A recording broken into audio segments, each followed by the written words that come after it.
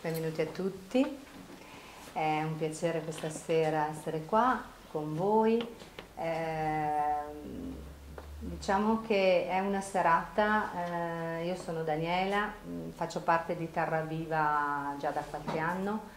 È una serata dedicata all'alimentazione, però con un approccio diverso, è un approccio olistico, un approccio che vede eh, la persona nella sua totalità, perciò un benessere eh, attraverso il cibo per raggiungere il benessere di corpo, mente e spirito. Lo faccio in compagnia di Beppe Sivero. Eh, lui eh, lo posso definire un appassionato di nutrizione perché lui veramente la, la vive con tutto se stesso, con il cuore. Oltre che ad essere un consulente di macrobiotica, è presidente e insegnante alla scuola di Sciazzo del Sole Luna di Parona. Ha, ha conseguito il diploma di fatto olistica e guarigione all'Istituto Internazionale, vero? National Macrobiotic Institute. Eh, in Svizzera. Suo, è anche un ricercatore, ha, si è approcciato anche alla bioenergetica, perciò con eh, approfondimenti e terapie di bioenergetica. Mm ha, conduce e ha condotto seminari di alimentazione in tutte le città d'Italia, ha gestito per più di dieci anni, è stato uno dei primi a gestire un ristorante vegetariano in centro a Verona, ma credo anche il primo in Italia, uno tra i primi. Primo, fra i primi. E, ed è qui con noi stasera per, per presentare tante belle cose. Io l'ho incontrato nel mio percorso di Shatsu e posso dire che è un, una persona di alto profilo professionale, ma soprattutto un uomo di grande saggezza e di grande sensibilità. Una cosa eh, che vorrei dire, la scelta di mangiare cibo sano non contaminato da sostanze chimiche è, è, importante, è importante per noi e per i nostri cari, per i nostri figli, ma non solo, ma è importante perché va a, a consolidare un modo diverso di fare agricoltura e va anche a sostenere un modo diverso di fare agricoltura può essere biologica, può essere biodinamica, questa sarà una scelta vostra. Io lascio adesso la parola a Beppe, se poi ci sono domande, vero Beppe? Eh, hai il primo momento di presentazione e poi insomma le domande arriveranno, lui volentieri sarà pronto a rispondere. Grazie, buonasera detto, mi sento un po' in prigione di piedi. Più avanti allora. Eh, non ho una voce fortissima, per cui laggiù se mi sentite per favore ditemelo, se allora mi unirò il microfono non so come, ma tocca, fare. Eh, mi ha già presentato Daniela, che ringrazio moltissimo per tutto quello che ha detto, però adesso mi sento ancora più impegnato perché dopo tutto quello che vi ha detto io devo fare bellissime figure dopo, tutto, eh dopo insomma, questo po', di presentazione il curriculum c'è. non posso che, che, mi sento un po' imbarazzato. Ma no, ma eh, mm, eh, io ho, ho, cominciato la mia ricerca tantissimi anni fa eh, nel 78-79 e, e per me la ricerca continua non è mai finita. Eh, per cui io sono qui eh, questa sera per portarvi la mia esperienza non ho nessuna velleità di avere verità in tasca, di, di dire quello che è giusto, quello che è sbagliato. Io vi porto la mia esperienza. Eh, cercherò di sottolineare di più alcuni aspetti che di solito non sono sottolineati, un po' perché di quelli, eh, aspetti nutrizionali, diciamo, visto che anche negli anni precedenti l'associazione ha fatto altre conferenze, insomma, ne è già stato parlato di fondo. E un po' perché eh, se voi andate dove volete, su internet, su, sui libri, sulle riviste, non si fa altro che parlare di nutrienti, di quello che nutre, di quello che non nutre. Per cui se volete informazioni su questo argomento ne trovate a montagna, veramente a montagna. Una cosa invito a, su cui vi invito a riflettere è di stare attenti a quello che leggete e a quello che prendete perché non sempre quello che viene detto è funzionale alla salute, molto spesso purtroppo, perché questa è la realtà eh, quotidiana, eh, quotidiana, siamo in una società che si chiama capitalistica, per cui la funzione, lo scopo principale è vendere, per cui spesso mascherano informazioni dietro a delle pseudo vendite o tali, o pseudo tali, insomma. Per cui state un attimo attenti, perché non tutti sono così, ma parecchi lavorano su questo aspetto. Di eh, dire che una cosa fa bene o fa male in base a quello che devono vendere o non vendere, oppure denigrare o non, o non denigrare. Non sempre dietro a quello che dicono c'è una verità scientifica. Poi eh, attenzione anche al fatto di prendere troppo la lettera quello che viene definito scientifico, perché anche lì potete trovare tantissime informazioni, se voi andate a leggere quello che hanno scoperto i fisici quantici negli ultimi 5-10 anni, eh, Rubia, Marchi e altra gente, eh, scoprirete che quello che era definito scientifico fino a dieci anni fa, scientifico non è più tanto, vero? perché hanno messo in discussione quella definizione di, scientifica, di scientifico. La definizione di scientifico è eh, eh, in 10 fanno una prova e tutti hanno lo stesso risultato, fanno una prova tutti nella stessa maniera perché si passano i protocolli e tutti hanno lo stesso risultato. I fisici quantici hanno dimostrato che il risultato varia in base all'osservatore, cioè se cambia l'osservatore può cambiare il risultato. Per cui la definizione di scientifico eh, è stata messa in discussione parecchio dalla fisica quantica. E come dice Rubbia nei suoi libri, eh, dice io da quando studio la fisica quantica mi sto avvicinando sempre di più a Dio cioè a quello che non è tangibile, allo sconosciuto, al difficile da, da interpretare, al difficile da comprendere. Per cui io, oh, oh,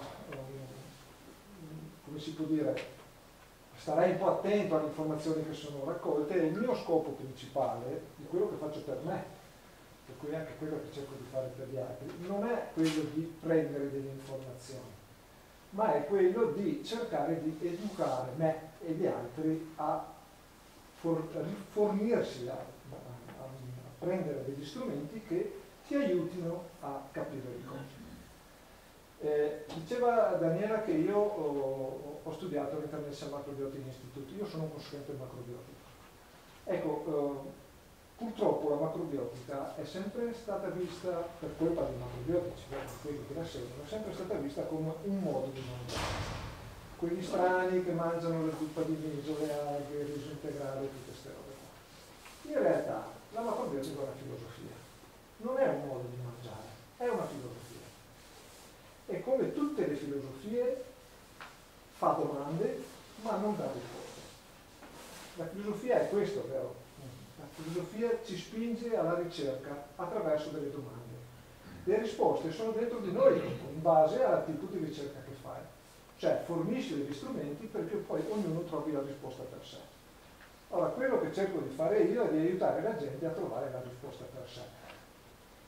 Questo perché? Perché siamo tutti diversi. Semplicemente non si può applicare una regola uguale per tutti, perché essendo ognuno diverso da un altro, la stessa regola va adattata alle persone, alle, alle situazioni, alle esigenze, al clima, a tutta una serie di fattori che possono cambiare completamente eh, il risultato finale dell'esperienza. Per cui eh, il mio invito è a fare una ricerca, non a prendere dei dogmi, mm. non a prendere delle cose preconfezionate e applicarle alla lettera. Le cose preconfezionate, cioè quelle schematizzate, hanno un'utilità che ti danno un'indicazione di massima. Poi da queste indicazioni di massima bisogna tirare fuori quello che noi riusciamo a fare, quello cui noi riusciamo ad adattarci e usare solo quello, non tutto quello che ci viene detto all'interno di quella regola. No? Eh, io sono dell'idea che quando una persona prende una regola alla lettera è perché non sa più dalle parti girarsi, cioè è insicura di fondo, ha bisogno che ci sia qualcuno che gli dice cosa fare. Io invece cerco per me, per cui quello che insegno, eh, cerco di fare anche questo, cerco di fornire alle persone degli strumenti perché provino a cercare da se stessi quello che bisogna fare per se stessi. E lo strumento una volta acquisito è tuo, non lo puoi più uh, dimenticare, perché l'hai imparato, basta, è come andare in bicicletta, no? Una volta che hai imparato ad andare in bicicletta, anche se la lasci da 30 anni, poi la, prendi in mano e riesci ad andare ancora. Per cui eh, una, una, volta imparata una cosa è difficile dimenticarla, mentre è molto facile dimenticare una cosa che ci è stata imposta da fuori, che non è nostra, è di un altro, che noi magari abbiamo imparato a memoria, sono come le poesie, no? Poesie avete imparato a memoria, non le recitate più per dieci anni e ve le siete dimenticate, perché è qualcosa di un altro. Oppure ricordate solo quelle poesie che colpiscono, che vi eh, lasciano un segno dentro, e allora quelle ve le ricordate. Eh, capisco che è molto più facile eh, che ci sia qualcuno che ci dice cosa fare piuttosto che mettersi alla ricerca per noi stessi su cosa fare. No? Ci vuole più tempo, ci vuole più attenzione, ci vuole più sacrifici anche per fare questo, mentre se io prendo una cosa che è già fatta, non faccio altro che applicarla, ci vuole molto meno.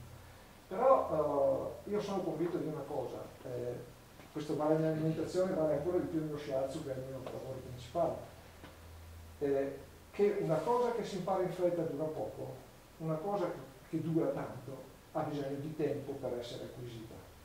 Per cui ci vuole il suo tempo perché le cose acquisiscono e vengano acquisite. E in questa società dove c'è tutto di corsa, cioè le cose non andavano fatte ieri, no, questa è una cosa difficile perché la società spinge ad avere tutto subito. Però guardate che il tutto subito inizia e finisce anche tutto subito. Per cui bisogna stare un attimo attenti a questo, a questo aspetto perché veramente rischiamo di prendere 10.000 cose e di non avere niente, che sfumano nel giro di poco tempo, perché sono aleatorie, sono quelle che si chiamano sovrastrutture sono cose che non sono nostre ma che ci sono imposte dall'esterno. Voi mi direte cosa c'entra questo col cibo?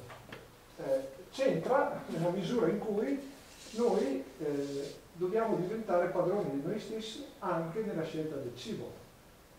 Cioè eh, eh dobbiamo acquisire delle conoscenze di noi e delle conoscenze del cibo tali che ci permettano di scegliere, come diceva il fondatore della macrobiotica Giorgio Sawa, che era un giapponese che ha preso un nome francese, eh, diceva l'uomo sano è, eh, mangia di tutto prima di tutto, è in grado di mangiare di tutto, ma soprattutto l'uomo sano è sempre in grado di scegliere il cibo giusto al momento giusto. Cioè di capire con la testa, con il corpo, con lo spirito, qual è il cibo che in quel momento dell'esistenza serve a noi. Questo oh, eh, c'è bisogno che io sia qua che parlo, c'è bisogno che ci siano dei, dei, siti internet che ne parlano, dei libri che ne parlano, perché noi abbiamo perso quello che si chiama istinto. Se i miei nonni, i miei, nonni, i miei bisnonni, non avevano bisogno di fare questi discorsi per due motivi principali. Primo perché da mangiare c'era quello e non è che ci fosse tanta altra scelta? Cioè, c'erano quelle robe e poi perché capivano per istinto, perché avevano ancora questo istinto animale più legato alla natura, più legato ai ritmi naturali, per istinto qual era il cibo che andava bene e qual era il cibo che non andava bene. Per loro era più semplice, avevano come si dice meno sovrastrutture di noi. Per noi è più difficile, perché gli stimoli ad andare contro questa cosa sono quotidiani, continui sono. Guardate che eh, se, se voi ci fate caso nelle canzoni, nella pubblicità, nelle, nelle, come vengono scritti i libri, in, in tantissimi aspetti eh, si va sempre in quella direzione, no? si chiama consumismo no? e da lì non ci si scappa. Prima si parlava di agricoltura biologica, uno dei motivi per cui l'agricoltura biologica non funziona è perché va contro il consumismo.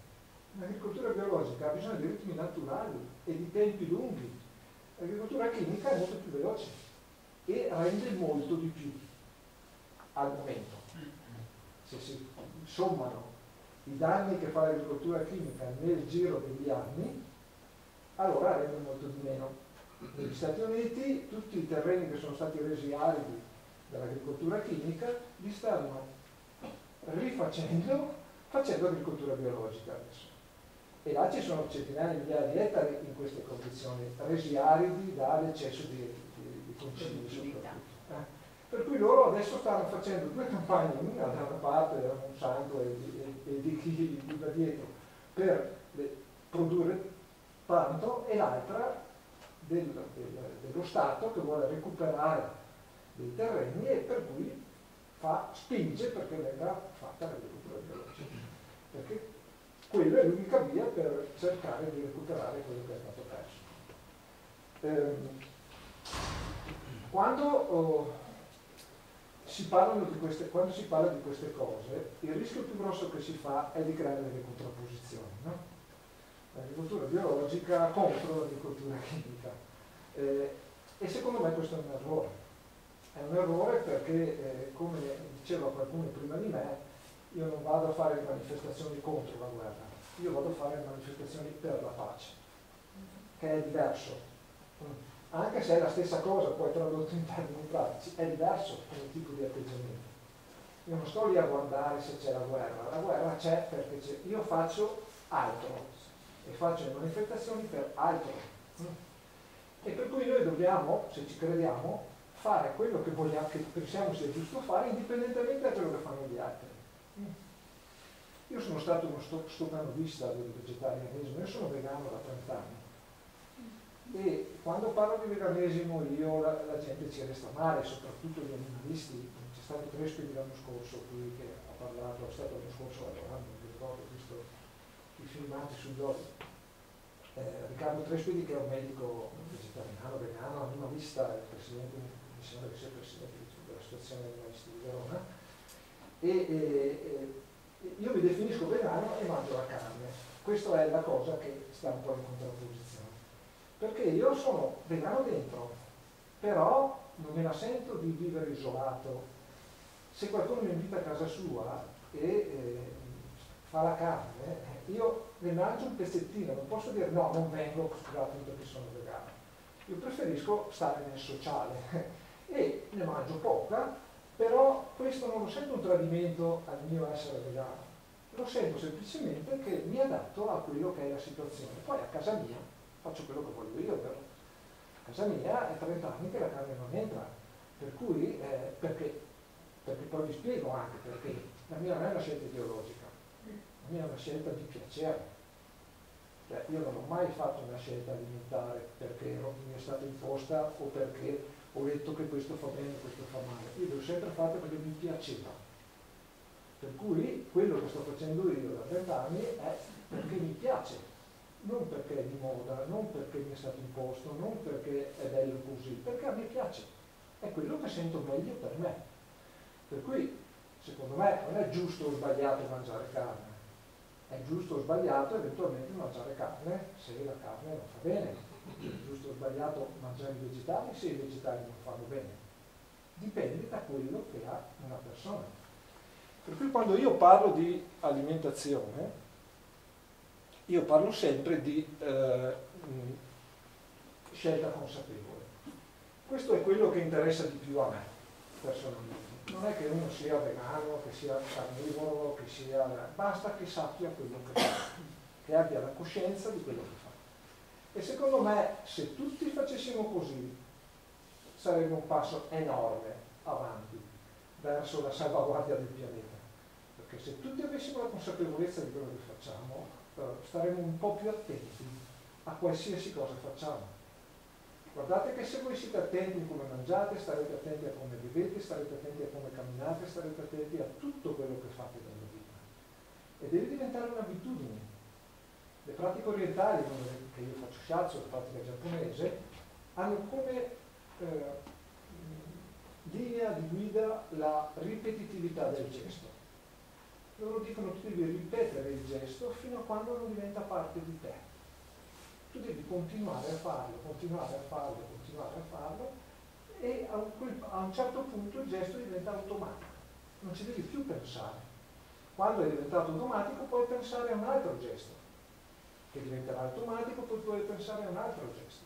E così piano piano ti arricchisci, ti riempi, ti fai, diventi più ricco di cose che ti arrivano. No? Per cui eh, bisogna, stare, eh, bisogna, starci dentro nelle cose quando si provano, non si deve rinunciare subito. No? Ehm, per me la consapevolezza è la, il primo passo verso il cambiamento. Se non si conoscono le cose non si possono cambiare. Per poterle cambiare bisogna conoscerle.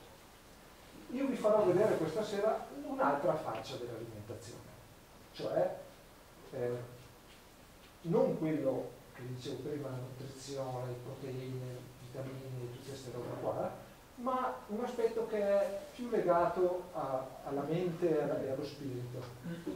Per spirito io intendo le scelte che una persona fa. Lo spirito e la religione sono due cose un po' diverse. Vero? Lo spirito è eh, la capacità di fare delle scelte per sé. La spiritualità è intesa in questo senso, è una ricerca, non è un dogma, è una ricerca. Per cui eh, la, eh, quando si parla di cibo per lo spirito è cibo che ci aiuta nella ricerca costante della nostra vita. Il cibo come aiuto a vivere meglio. E eh, questo oh, secondo me è indipendente dai eh, principi, dai dogmi, dalle, dalle regole. Perché poi eh, quello che eh, ci aiuta eh, di più, vi ripeto, è la conoscenza del cibo e di noi. Adesso comunque vediamo un, un, alcuni aspetti. Io ho messo lì, parlare di queste cose ci vorrebbe qualche mese, cioè, no? per, per, approfondire un po' le cose, no? Però io metto lì alcune cose e poi se volete ne parliamo un attimo, vediamo un attimo come eh, si possono affrontare, come si possono discutere e, mh, e soprattutto eh, come eh, queste cose possono essere viste senza che diventino un dilemma. Mm. Eh, comunque adesso vediamo. Allora, eh, prima di tutto volevo definirvi cosa sono gli alimenti, perché questo è importante. Questa definizione io l'ho trovata in varie parti, eh, questa l'ho presa da Wikipedia, spero che tutti sappiate cosa è Wikipedia, Wikipedia è una specie di enciclopedia che c'è su internet, e però è una definizione che potete trovare su tantissimi libri perché è una, abbastanza condivisa. No? Gli alimenti sono organismi animali, vegetali o loro derivati che l'uomo ha selezionato nel corso dei millenni in relazione alla loro reperibilità e alla loro capacità di rispondere a quello che si chiama sostentamento biologico. Cioè, cosa serve mangiare? Ah, scusate, io per alimento intendo tutto quello che viene ingerito per cui sono alimento il fumo, sono alimento le droghe, le medicine, tutto quello che viene ingerito. Perché tutto quello che viene ingerito, anche l'aria per certi aspetti, eh, anche se non è proprio alimento, ma anche quella fa parte del, del nostro metabolismo, eh, per cui tutto quello che viene ingerito per me è un alimento. A cosa servono? Ma è banale, vero, da un punto di vista biologico. Noi siamo una macchina, questa macchina ha bisogno di benzina, e eh, gli alimenti servono a dare la benzina, non solo, perché è una macchina che si distrugge, che si consuma nel nostro corpo, per cui ha bisogno di essere rigenerato, per cui gli alimenti cosa ci danno? La benzina e le sostanze per poterlo rigenerare. Si hanno proteine, zuccheri, sali minerali. Questi, e proteine, zuccheri grassi sono le sostanze che servono per la costruzione plastica e per la funzione energetica. Poi sali minerali e le vitamine servono per aiutare le proteine eh, i grassi e gli zuccheri a svolgere la loro funzione. Per cui eh, l'uomo ha preso delle cose nel giro di migliaia e migliaia di anni, l'Homo sapiens si dice a 12.000 anni di vita. Noi, nostra, noi siamo nati come razza di 12.000 anni fa circa. Per cui nel giro di questi 12.000 anni l'uomo ha cercato di selezionare tutta una serie di sostanze che gli servivano per poter vivere, per poter sopravvivere e vivere. Eh, queste sostanze erano legate alla reperibilità sul territorio e, attenzione, alla digeribilità. Una sostanza per essere usata nel nostro corpo deve essere digerita, cioè trasformata.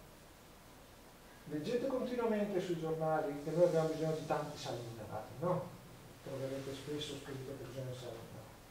La più grossa concentrazione di sali minerali che c'è al mondo sono le pietre, i minerali. Però noi non mangiamo mai pietre, perché non le digeriamo.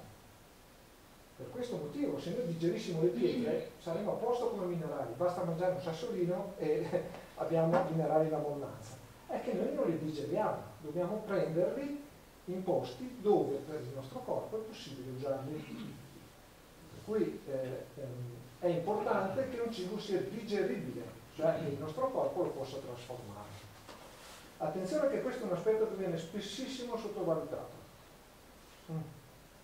Mino digerisce i pearoni, ma so, li è così buoni e li mangio. Perfetto, mangi, ma guarda che non li digerisci. Cioè li, il tuo corpo non li può usare, ma non solo non li può usare, provoca dei problemini perché il corpo le sostanze che non può usare le deve eliminare e per eliminarle si fa un lavoro in più. Per cui è importantissimo che quello che mangiamo per noi sia digeribile. Poi c'è chi digerisce i peperoni e c'è chi non li digerisce, c'è chi non digerisce i cavolfiori e c'è chi invece li digerisce. Siamo diversi. Mm. Per cui bisogna che teniamo conto di questa cosa. Da questo punto di vista, parlando in generale, i cibi animali sono i cibi più difficili da trasformare per il nostro organismo, mentre i cibi vegetali sono un po' più semplici da trasformare. All'interno delle sostanze i grassi sono sostanze più difficili da digerire, da trasformare, però sono importanti perché sono quelli che danno la benzina, eh, quelli che forniscono la benzina nel tempo, i grassi si, si consumano nel tempo. Gli zuccheri sono un po' più semplici, perché gli zuccheri sono invece sostanze che devono essere usate subito, è la benzina immediata del nostro corpo. Per cui sono un po' più semplici da digerire. Per cui queste piccole nozioni bisogna conoscerle. Bisogna conoscerle perché? Perché noi non ci ascoltiamo più. E I miei maestri di macrobiotica, che però hanno preso da, da, da, dalle, vecchie, dalle vecchie cose, dicevano che perché un cibo venga digerito deve essere masticato almeno 30 volte al boccone. Ma questo diceva anche mia nonna, vero?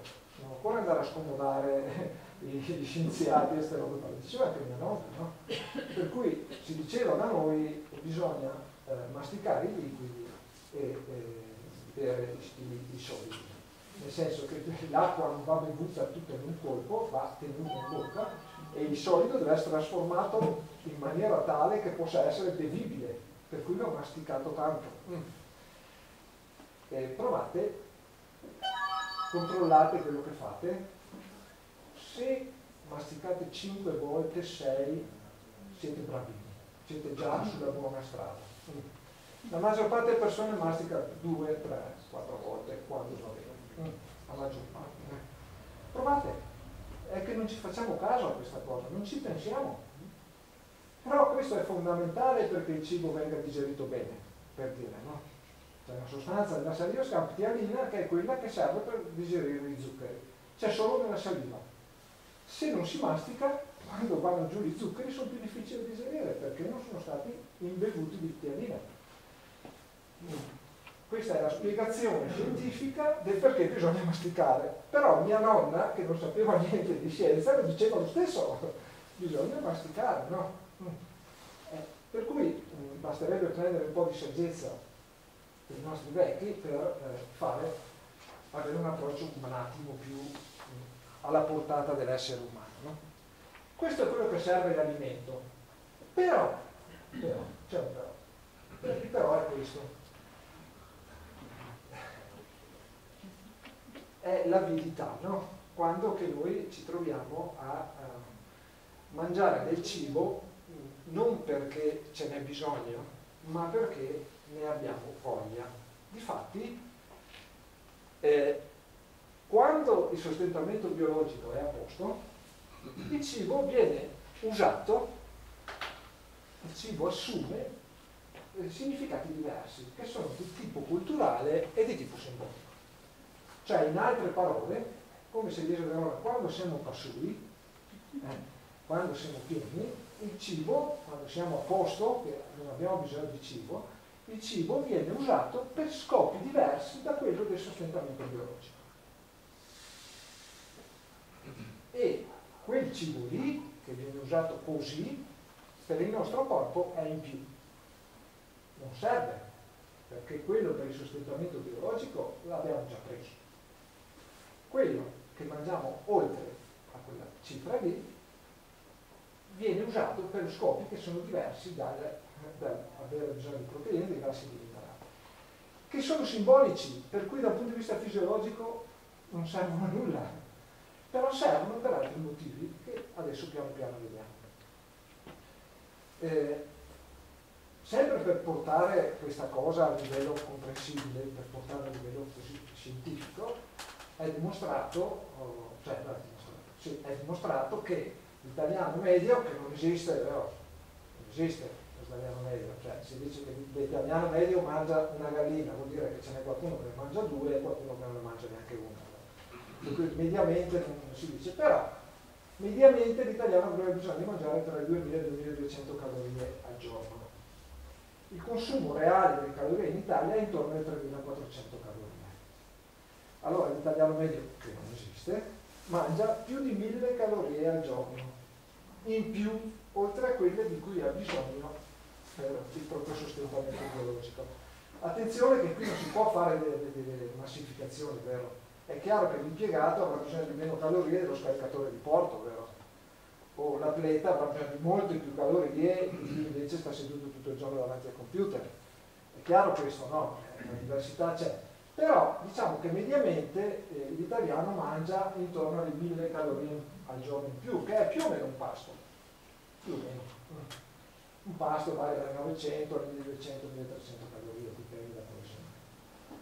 Per cui quelle 1300 calorie in più sono usate per questo motivo, non per motivi biologici, ma per motivi simbolici, per motivi che vanno al di là dell'esigenza fisiologica del corpo.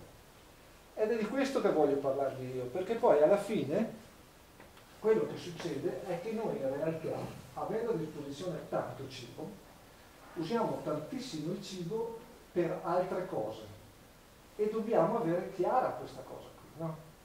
Cioè quasi tutti noi scelgono il cibo non perché hanno la coscienza che quel cibo serve per questo, a tot proteine, tot sali minerali, tot vitamine, tot grassi, tot questo e tot quell'altro. Non per quel motivo lì.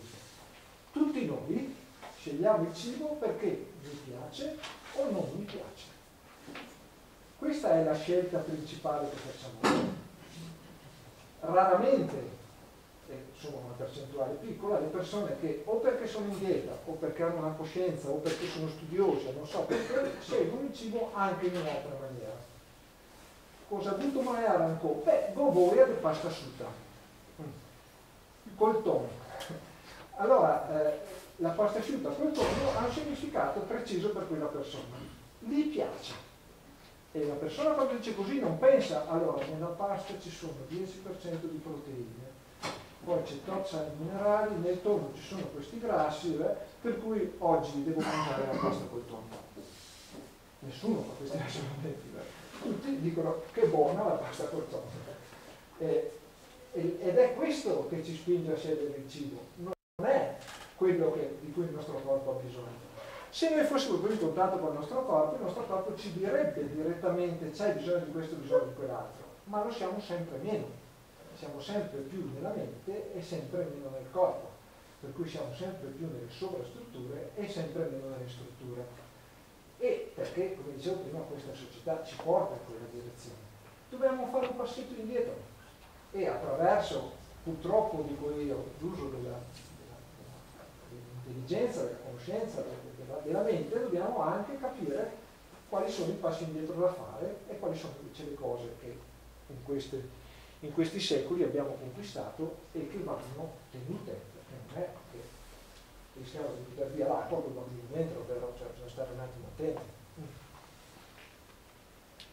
Il cibo, dicevo, ha un significato simbolico. Queste persone che vedete adesso sicuramente non mangiano, non, non, non, non fanno quello che fanno perché hanno bisogno di un sostentamento biologico. Basta guardare le facce e, e si capisce che c'è qualcosa di eh, eh, morboso a certi livelli rispetto al cibo. Mm.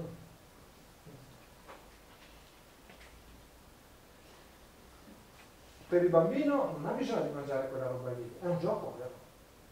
Lui è un simbolo, sta giocando col cibo, non, è, eh, non ha bisogno di, di, di mangiare le, le, creme in stella del mondo. Per esempio, una cosa mi è venuta in mente guardando il bambino.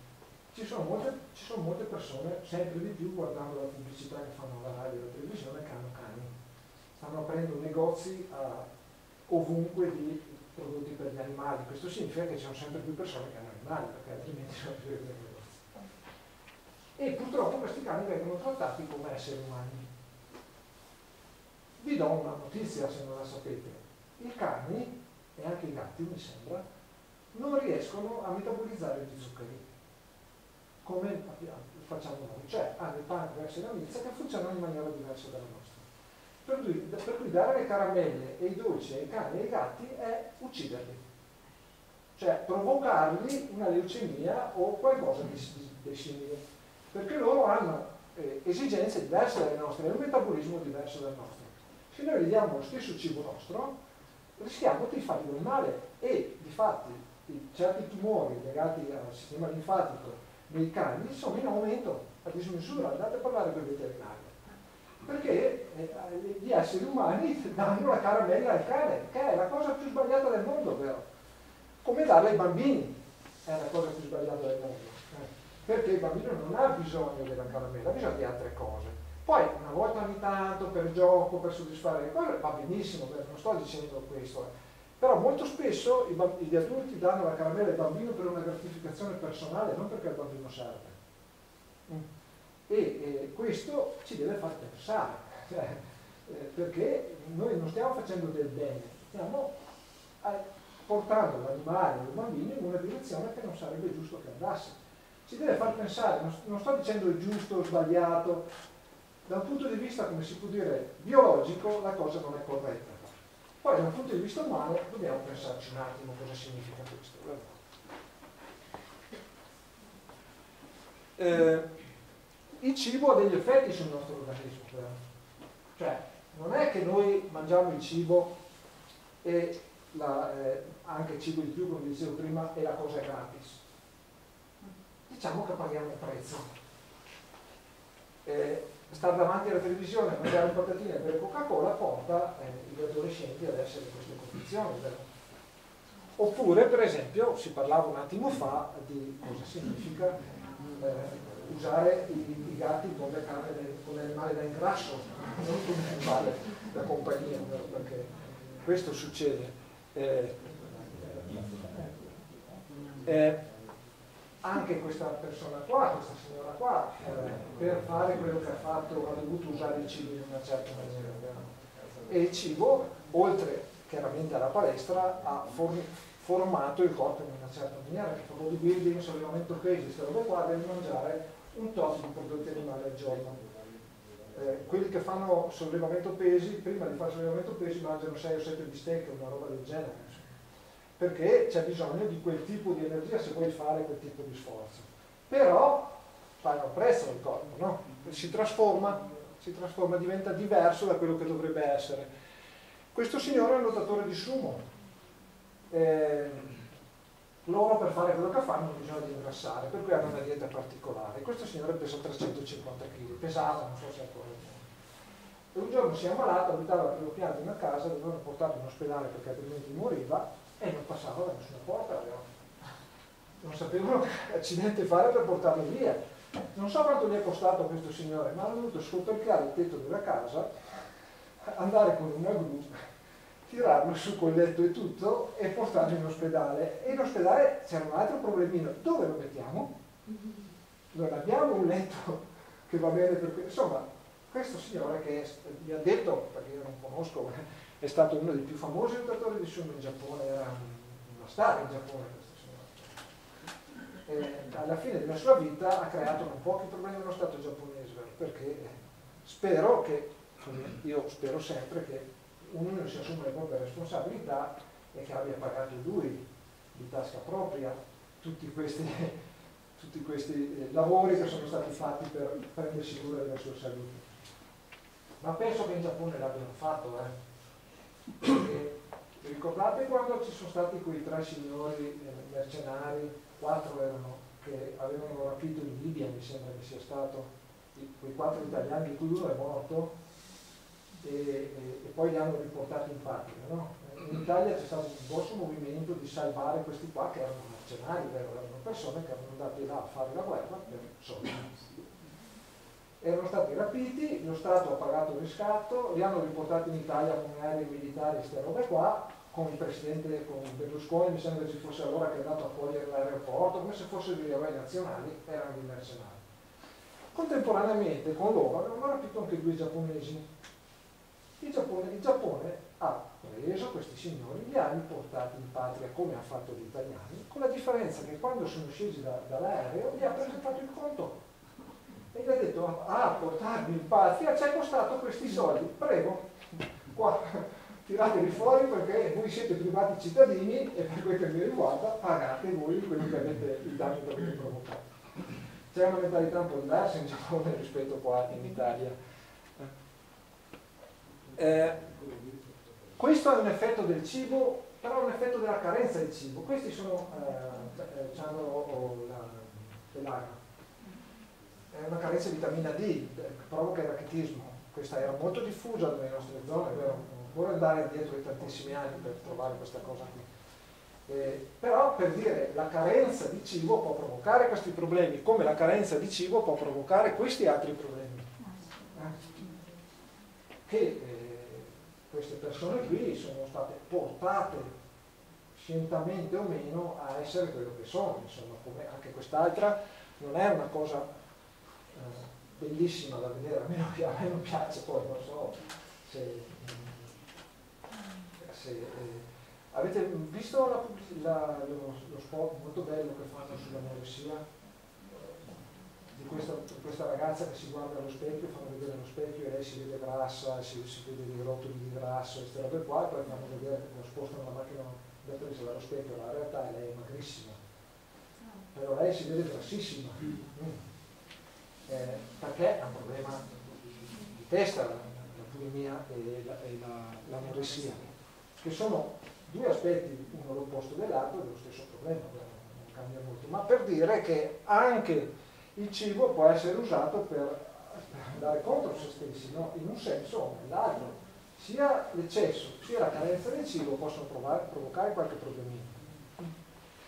Eh, per cui il cibo su di noi ha un effetto. E quello che ha un effetto sul corpo però, per, storicamente è dimostrato che ha anche un effetto su tutti gli altri livelli del nostro corpo. Se voi leggete un po' di storia dai greci, uh, che sono stati i primi a parlare di certe cose, ma comunque in tutte le parti del mondo, quando si parla di essere umano si parla sempre di tre aspetti dell'essere umano. Si parla sempre del corpo, della mente e dello spirito, che sono tre aspetti che non sono separabili. Eh, in Oriente questa è una cosa eh, non risaputa, è la normalità. Quando parlano di corpo loro intendono automaticamente il corpo, mente e spirito. Qualsiasi cosa, qualsiasi cosa eh, si eh, agisce sul corpo agisce anche sulla mente e sullo spirito. Qualsiasi cosa agisce sullo spirito agisce anche sulla mente e sul corpo. E, e, è tutto legato, non si, può, non si possono scendere questi tre aspetti. Per cui quando io faccio qualcosa al mio corpo, faccio qualcosa al mio mente, faccio qualcosa al mio spirito, inteso come quello che vi dicevo prima, cioè la mia capacità di fare delle scelte nella vita, di trovare la mia strada, trovare il mio percorso da fare. mi impedisco, mi freno questa cosa. Ricordatevi che la, la, Trinità è una cosa insomma, di cui sappiamo tutti, conosciamo tutti, eh, questo è il modo di vista degli orientali, quest'altro è il modo di vista dei greci, si chiama trichele, o trischele come volete voi, l'hanno usato i celti, l'hanno usato i greci, l'hanno usato i, tibetani, l'hanno usato tutti questo simbolo qua che ha vari significati. È, è la dea vista nei vari aspetti, la, le tre manifestazioni dell'uomo, e, e, le tre età dell'esistenza, questi sono alcuni dei significati che sono stati dati, questo simbolo è stato usatissimo in tutte le parti del mondo con varie sfaccettature, non so, l'avrete visto, invece di queste spirali ci sono tre uomini eh, o tre dee, o, cioè comunque è sempre una trinità, è sempre qualcosa che è tre in uno e che non sono separati, non si possono separare. Da noi quello più usato è questo. Mm eh, che però ha un simbolismo che è antico. Mm. Cioè, non pensate che quello che viene trasmesso adesso sia nato così dalla mente, sia stato partorito dalla mente di qualcuno che era illuminato l'anno scorso. Tutte queste cose qua hanno una storia vecchia di 5.000 anni, 6.000 anni, 10.000 anni. C'è una storia dietro al perché si, si usano certi simboli. E poi siano stati usati per certi aspetti manipolati a uso e consumo di qualche religione o di qualche setta o di, eh, quello è un altro discorso. È un altro discorso. Il simbolo di Hitler, la croce uccinata, non è altro che il simbolo usato dai buddisti con le, le aste messe alla rovescia, per dire no, non ha inventato nulla Hitler, ha preso quello che già esisteva e l'ha trasformato a suo uso e consumo. Mm. Per cui eh, anche qui eh, c'è questo aspetto di Dio che vi ricordo per definizione, se voi leggete il dottorato degli ebrei c'è scritto Dio, è colui che non si può nominare. Mm? Per cui eh, nel momento in cui lo nomino io sono costretto a dargli una valenza materiale, cosa che Dio non è. Per nominarlo noi siamo stati costretti a usare tre parole, Padre, Figlio e Spirito Santo a dividerlo in tre. Perché altrimenti non possiamo usarlo. I taoisti dicono il Tao è quella cosa che non si può nominare, o meglio, che quando la nomini non è più Tao, che è la stessa cosa che dicevano gli ebrei. L'hanno detta in due posti diversi del mondo, più o meno contemporanei. Sono arrivati tutti alla stessa conclusione, cioè se io prendo Dio e lo trasformo in qualcosa di umano, non è più Dio, molto semplicemente diventa l'interpretazione che l'essere umano dà di Dio. Che va bene, vero? Non sto dicendo che è giusto o sbagliato, va benissimo, però dobbiamo avere coscienza che è così. L'essere umano cosa ha fatto? Ha semplicemente trasportato Dio, traslato Dio alla sua immagine e somiglianza, mettendo dentro in Dio le tre, tre aspetti, il corpo, la mente e lo spirito, l'ha chiamato figlio, spirito santo e padre, lo stesso in carne e è sempre la stessa modalità di approccio. Cioè, noi abbiamo umanizzato Dio perché a noi torna più conto, ci serve per capire. E abbiamo divinizzato per certi aspetti l'essere umano portandolo il più vicino possibile a quello che è l'immagine che noi abbiamo di Dio.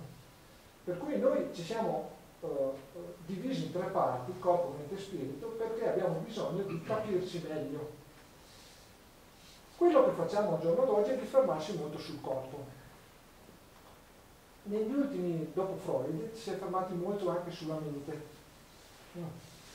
E poi c'è stata dagli anni 70 in poi una grande ricerca della cosiddetta spiritualità, molti di gente è andata in India a cercare la spiritualità, è andata in giro per il mondo a cercare chissà cosa, quando la spiritualità è dietro la porta, o è dentro di noi, cioè, guardate come volete voi, non ha importanza. Perché vi, vi, quello che dicevo prima è la spiritualità è un aiuto, una ricerca che noi facciamo della nostra strada, di quello che è meglio per noi, di dove vogliamo andare, quello che serve a noi. No? Uno dei miei diceva tu devi eh, mettere in pratica i tuoi talenti. Cioè se tu metti in pratica i, tuoi talenti sarai una persona felice. Per cui eh, la felicità è proprio nel cercare di essere noi stessi, cioè quello che veramente siamo non quello che gli altri vorrebbero che noi fossimo. quello che la cultura ci ha detto che noi siamo, quello che mio padre voleva che io diventassi, no, quello che io sono veramente. No? Questo mio maestro mi ha trovato anche i miei talenti, secondo lui, lui non mi conosceva assolutamente, non sapeva cosa facevo e uno dei, dei, dei talenti che mi ha trovato è stato cucinare per gli altri. E io gli ho detto grazie che ha fatto. Hanno, ho avuto questo ristorante, la cucinella, qualcuno l'ho conosciuto, insomma, già dieci anni, e per cui io avevo già dato, ero a posto con questo talento. Però ho continuato perché questo è quello che mi viene meglio.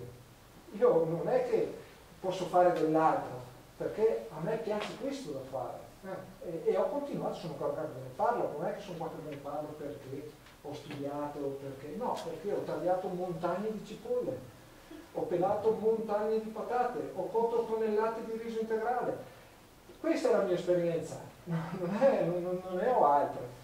Posso dirvi cosa questo ha provocato su me e sulle persone che mi erano vicine, questo sì. E più o meno quello che vi sto dicendo è il riassunto di, di, di quello che ho fatto io. Attenzione che noi abbiamo degli atteggiamenti.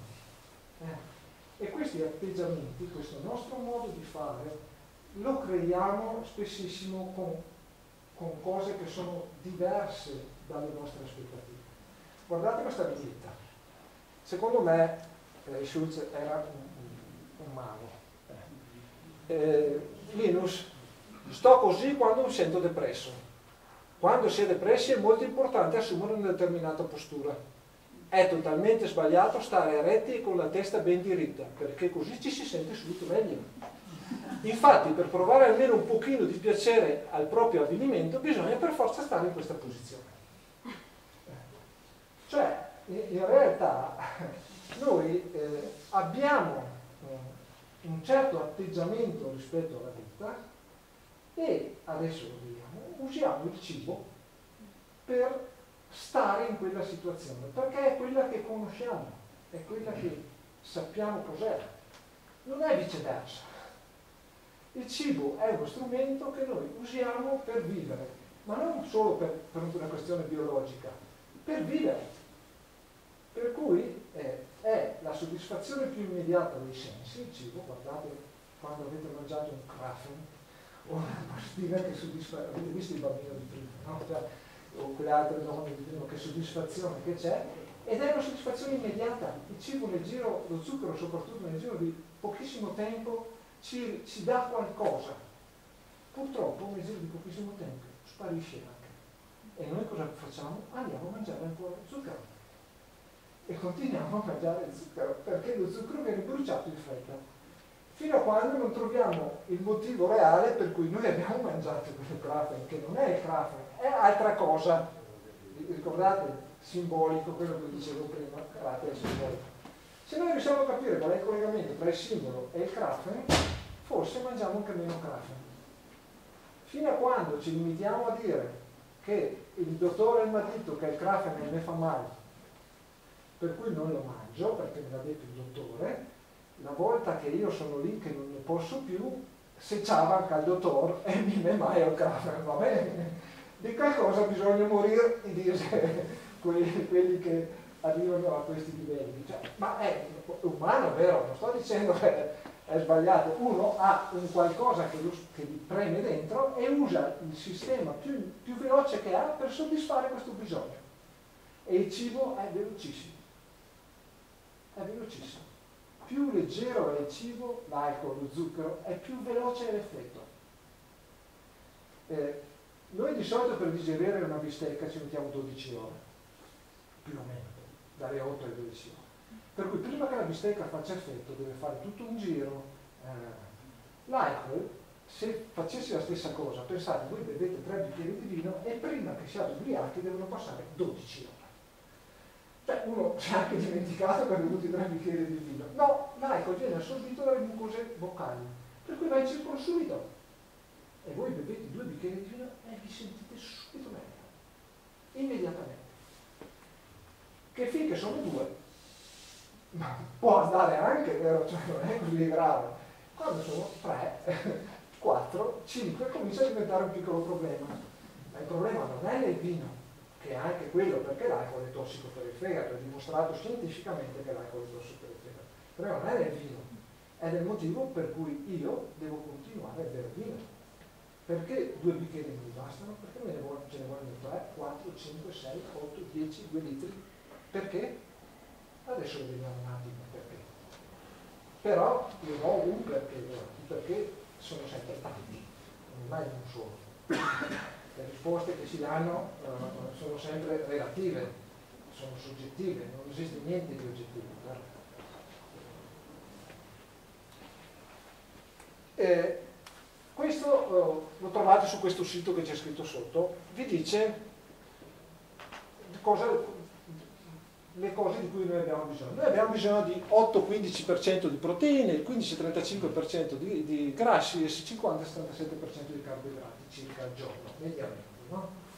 Su questo sito peraltro troverete tutta una serie di, di fattori che vi dimostrano, di, di, dati, filmati, che vi dimostrano che eh, non, è, non, si può dire solo proteine, grassi e carboidrati, dipende da che tipo di proteine, che tipo di grassi, che tipo di carboidrati e alla fine eh, vi dice sì, quegli animali sono più difficili da usare che quelli vegetali. E ve lo dimostra con filmati, con filmati fatti da Superiore della Sanità Inglese, cioè non cose a, a livello amatoriale fatte da uh, istituti di ricerca. Eh, per cui eh, noi eh, in realtà se guardiamo l'aspetto scientifico basta che guardiamo questa roba qua e siamo a posto, cioè non è che quando noi abbiamo mangiato il 10% rispetto al peso corporeo più o meno di proteine, eh, il, il 15%, insomma, quando abbiamo mangiato così in teoria dovremmo essere a posto. Il problema è, come dicevo prima, che noi siamo abbastanza diversi uno dall'altro, perché non tutti hanno lo stesso bisogno, hanno un diverso, hanno una costituzione diversa, gli uomini sono diversi dalle donne, eccetera, eccetera. E la eh, filosofia orientale ci ha dato una chiave di lettura che Oshala, il fondatore della farmaceutica, ha chiamato gli occhiali. Gli occhiali magici perché ci permettono di eh, avere una chiave di lettura diversa, attenzione, non meglio o peggio, diversa da quella scientifica. Secondo me le due cose vanno integrate, non vanno una giusta e l'altra sbagliata, vanno semplicemente integrate. Però secondo me escludendo questa si rischia di perdere una, una, una, una faccia della medaglia. Si vede solo la medaglia da una faccia e ci si dimentica che dietro c'è un'altra faccia della medaglia, eh? che è quella energetica come diciamo noi. No? Eh, I cibi possono essere divisi in tre grandi categorie.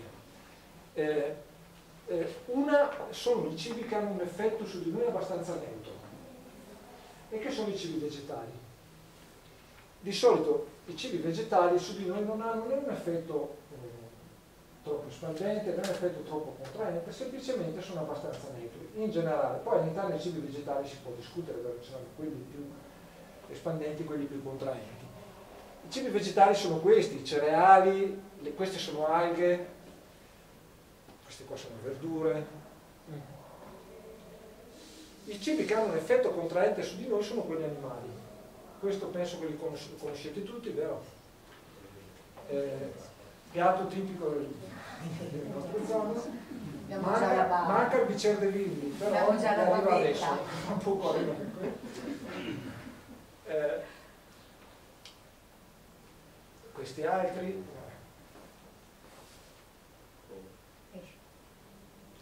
I cibi che espandono invece sono tutti quelli che sono estratti dai vegetali. Io sto schematizzando. Eh. I cibi che sono estratti dai vegetali sono quelli che sono estratti, i succhi per esempio, succo d'uva fermentato o anche non fermentato, comunque è estratto. È una parte dell'originale. L'olio è un estratto del, del, del vegetale. I succhi questi cibi hanno su di noi un affetto espandente in Oriente hanno chiamato in, ve lo dico così per conoscenza, quello che espande e yang quello che contrae. Io uso poco queste due parole quando faccio le conferenze, ma mi piacciono molto perché sono corte. Invece di dire espandente dico in, invece di dire contraente dico yang, e quando siamo d'accordo che in vuol dire espandente e yang vuol dire contraente, faccio più presto a dirlo. Io sono uno che cerca di non sprecarlo Eh, per cui eh, ehm, l'effetto in è un effetto che espande, l'effetto yang è un effetto che contrae. Eh, qui si vede meglio quali, quali, quali sono i, i cibi all'interno del mondo vegetale, per esempio, che hanno più effetto espandente e più effetto contraente. Cioè tutti i cibi, tutte le piante che vanno verso l'alto, che si espandono, su di noi avranno un effetto che si espande. Tutti i cibi che vanno verso il basso, che si contraggono, avranno un effetto che si contraente su di noi. La carne è molto contraente perché è la, eh, il vegetale concentrato dall'animale per produrre eh, la stessa quantità di proteine a livello oh, animale ci vogliono 12 volte di più oh, terreni pro per produrre le stesse quantità di proteine vegetali. Per cui l'animale ha concentrato di 12 volte le proteine eh, vegetali, per cui è molto più contraente. Comunque l'alimento che contrae di più è il sale, quello è quello più contraente di tutti. Eh? Perché vi ho messo questo schema? Perché eh, basta guardare spesso per capire l'effetto che fa il cibo su di noi. Una pesca mm, sarà molto più contraente che una carota, che invece va verso il basso, per cui è più compatta. La pesca è un'energia diciamo, che va verso l'alto, fatalità quando nasce la pesca, quando c'è caldo, d'estate, quando tutto è fuori.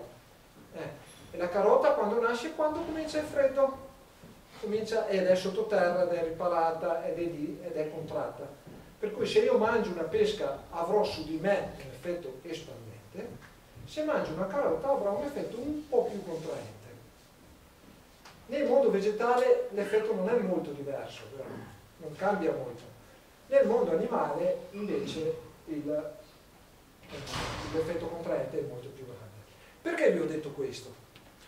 per tornare a quello che si diceva prima, e cioè io ho voglia di mangiare il krafen, la pastina, la signora di prima avete visto che faccia che aveva, cioè, eh. perché ho questa voglia? Bene, è molto semplice da capire in linea di massima. Questa signora ha voglia di un cibo che espande, significa che è contratta cioè che ha una tensione. Ogni volta che noi abbiamo una tensione, andiamo a cercare il modo per liberarci da questa tensione, perché si dà fastidio, a tutti dà fastidio lo stress, la tensione. E la via più veloce per liberarsi dalla tensione è usare cibo che espande. Lo zucchero, l'alcol, sono molto espandenti, però ancora di più sono le droghe, da quelle più leggere marijuana, queste robe qua, che sono espandenti, a quelli più pesanti che sono ancora più espandenti, la cocaina, l'eroina, queste robe qua, hanno un effetto molto espandente su di noi. Per cui tutte le persone che fanno uso di droghe sono alla ricerca di una fuga dalle tensioni. Stanno cercando di trovare una via per allentare determinate tensioni. Viceversa, chi mangia carne, chi mangia tanta carne, chi gli dice oggi se non mangio la mia bistecca io non sto bene, è perché ha bisogno di contrazione, cioè si sente troppo insicuro, troppo espanso, troppo spanto, come si dice però. Per cui ha bisogno di un cibo che lo porti al centro, che lo contragga un po'.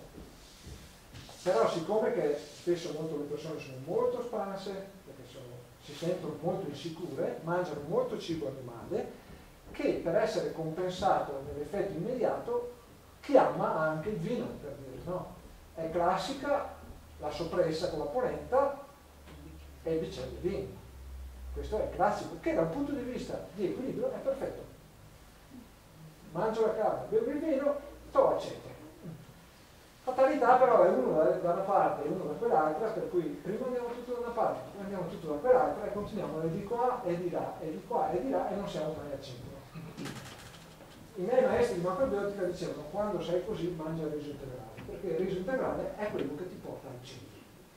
Da un punto di vista biologico, da un punto di vista energetico, da un punto di vista di composizione, il riso integrale è uno dei cibi più bilanciati che c'è. È quello che ha il rapporto sodio-potassio più vicino alle nostre esigenze.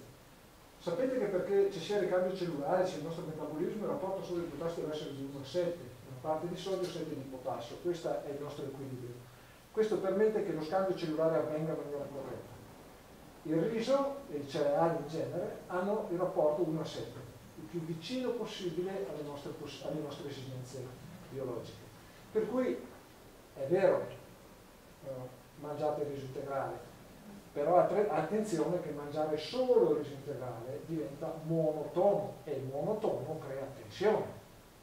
Per cui poi se mangiate solo riso integrale o spaccate la faccia a qualcuno per sfogare la tensione che avete creato o andate a un certo punto vi strafogate di qualcosa che fa l'effetto esattamente opposto. Perché non è vero che tutti i cibi sani, in quanto sani, si possono mangiare finché si vuole. Cioè. Non è cioè, bisogna stare attenti anche lì a quello che si mangia e a quello che non si mangia. C'è una classifica che si fa in linea di massima, vero? Molto spanta, di quelli che sono i cibi che hanno un effetto espandente, di quelli che sono i cibi che hanno un effetto contraente. Però questa è tutta relativa, nel senso che trovate anche punti di vista diversi. Quello che preme più a me è di cercare di farvi capire che eh, dal punto di vista, eh, come si può dire, di scelte alimentari che facciamo noi, siamo molto più influenzati dall'ultima parte che vi ho detto, che è quella che ci ho messo meno a dirvi, che è quella che mi ha portato via meno tempo, che dalla prima parte, che è quella del biolo della biologicità, delle esigenze biologiche del corpo. Cioè quello che vi dicevo prima, tutti noi mangiamo prevalentemente perché mi piace e il mi piace significa vado a prendere un cibo che soddisfa una mia carenza. Allora, detto in parole povere, quello che dico sempre io è ditemi come mangiate e vi dirò chi siete, oppure ditemi chi siete e vi dirò come mangiate.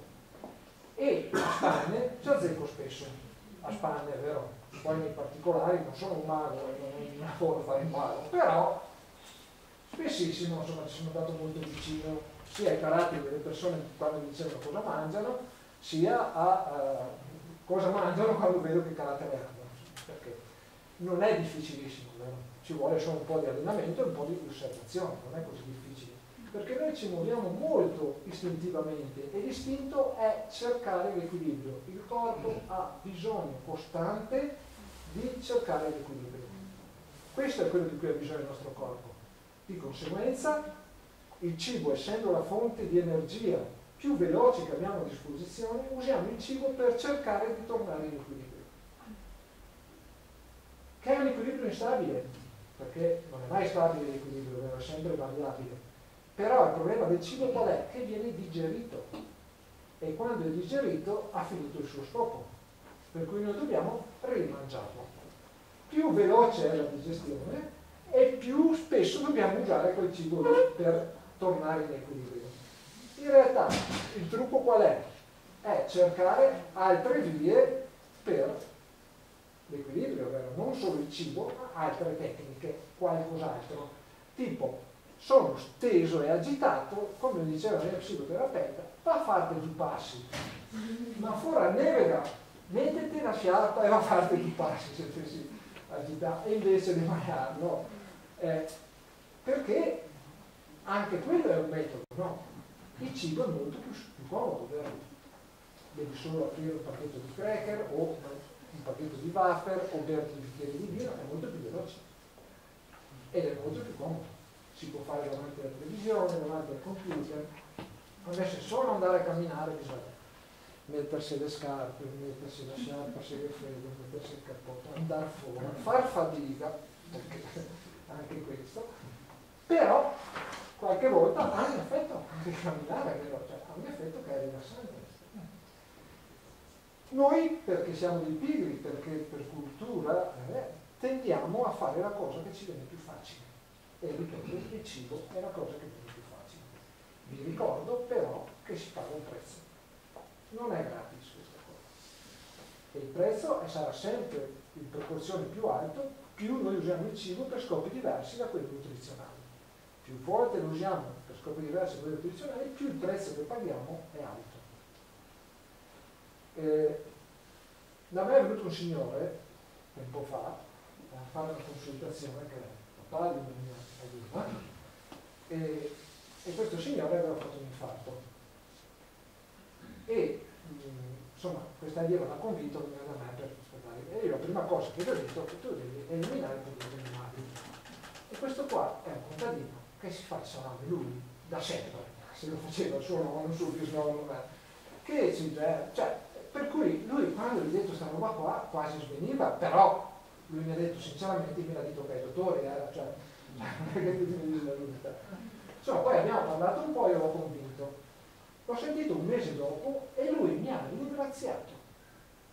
Mi ha detto, è una vita che non mi sento così bene, seguendo un minimo di consigli. Guardate, non ho detto niente di straordinario, cioè, non sono un medico, per cui mi sono guardato bene a dare consigli medici, ho semplicemente detto quello da fare io al posto suo. E stando attenti a non usare troppi prodotti animali, e per esempio sua figlia gli diceva eh, papà tocca più, non bisogna più che mai il salame. E mi guardava da parte e diceva Bepi ma una fettina ogni tanto sei tu stesso. E lui mi faceva un sorriso così però ho detto Bepi una volta ogni tanto eh, perché stavamo sempre come me una volta ogni tanto non troppo spesso perché sennò che ti fa male ah va bene va bene però dopo un mese mi ha chiamato lui mi ha chiamato per dirmi che si sentiva, non si è mai sentito così bene a 72 anni eh, per cui eh, il cibo ha un effetto in un senso e anche nell'altro e molto spesso è banale affrontare la cosa. Purtroppo cosa succede? Il Geppi ne è venuto da me perché ha fatto un infarto. Se veniva prima, forse non faceva l'infarto, forse, forse perché l'infarto non è legato solo al fatto che mangiava il salame, vero? Cioè, c'erano anche altri motivi sicuramente.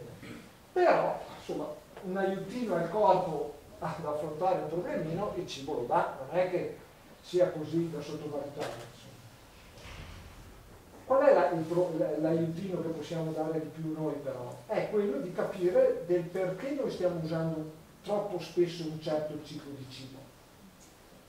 Io trovo assolutamente, perdonatemi la parola, ridicolo il fatto che sul pacchetto di sigarette ci sia scritto il fumicide. Tutti quelli che fumano sanno che il fumo uccide. Cosa serve dirlo? È lo Stato che, come si dice da noi, si pare il culo, perché vende un prodotto che sa che è mortale per certi aspetti, o che comunque è nocivo, e ci guadagna. Allora, per far vedere che si dà da fare, ci scrive sui pacchetti il fumo uccide. Ma tutti lo sanno che il fumo uccide, tutti quelli che fumano sanno che il fumo fa male. Uccide è una parola pesante, però tutti sanno che il fumo non occorre che ci sia scritto sul pacchetto di sigarette. Per cui la domanda è perché io fumo sapendo che mi fa male o perché mangio i peperoni sapendo che non li digerisco per andare su una cosa molto più semplice che non sia così traumatica come uccidere eh.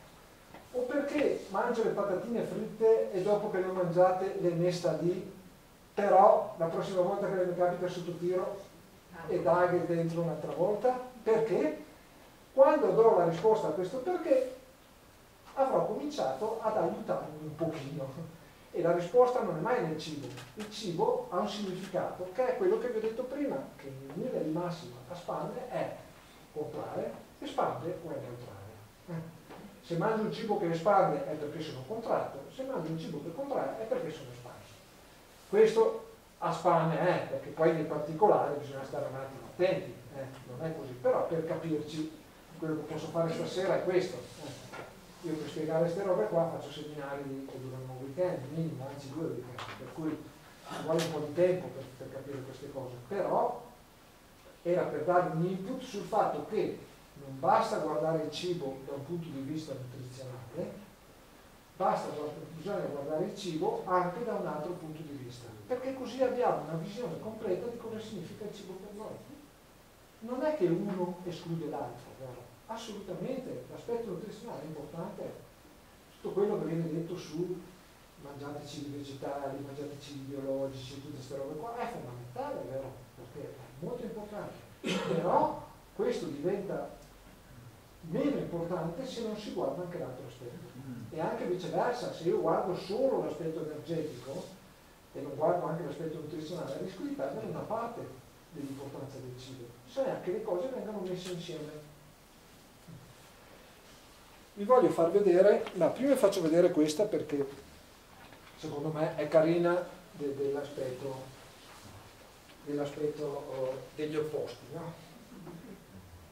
Un po' mi dispiace per le persone ordinate, non sapranno mai quello che si prova nel ritrovare una cosa che non ricordavi più di avere. Cioè, anche nel disordine c'è un aspetto positivo.